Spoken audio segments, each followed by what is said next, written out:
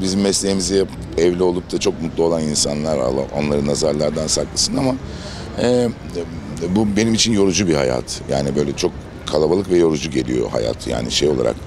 E, sürekli bir şey var. O o vak, o vak, vakitte ben mesela evlenemem gibi düşünüyorum yani. Çünkü e, vakit ayırmak lazım. Ben bu arada hani az hani böyle e, genç bir adam da değilim ki 50 51 yaşında nerede 50 50 72 doğumluyum işte.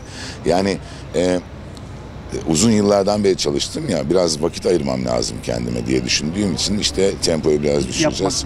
Bodrum'da isteyeceğin yaşıyorum zaten biliyorsun. Bodrum'da işte orada hani belki e, e, birkaç ay böyle işte haftada bir tane söyleriz şarkı konser yaparız. Sonra bakarız ayda bir tane söyleriz. Böyle bakarız şey. yani. Seni göremeyeceğiz. Abi gelelim Yok, yok, evde bir röportaj yapalım diye. Seni de bir Yok kere belki estağfurullah. görürüz. Estağfurullah. Ne zaman isterseniz her zaman.